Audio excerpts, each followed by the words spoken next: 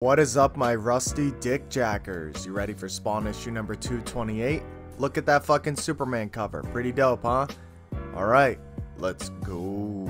Mark Rosen starts to record himself talking about all of the evidence that he's found about Jim Downing. The reason he's doing this is just in case someone, you know, fucking murks his ass or assassinates his ass, then they can come back and see this recording. Then we move on to the Violator talking to Blood about Cagliostro wanting to recruit the new Hellspawn.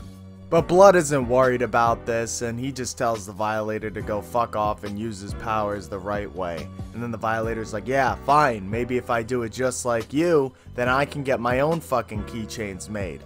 And he's just saying this because of all the Jim Downing merchandise that has been created.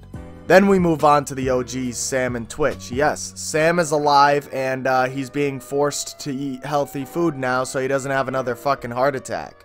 And Twitch is investigating the attempts that were made at Sam's life at the hospital, and he believes that it is connected to Downing in some way. Then we switch over to Sarah praying to God, telling him that she's losing faith in Jim Downing. Does that mean she's losing faith in God as well? She kind of hopes and wishes that Jim Downing never woke up from that coma because it was perfect when he was in it. She could tell him all of her thoughts, you know, she had someone to confide in, but now it doesn't feel that way.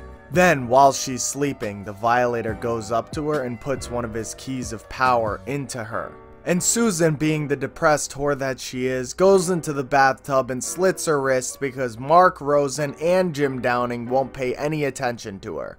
And that, my friends, wraps up Spawn issue number 228. Like the video if you enjoyed the video. If you didn't enjoy the video, don't be a pussy. Like the video. I'll see you guys in the next one. Bye.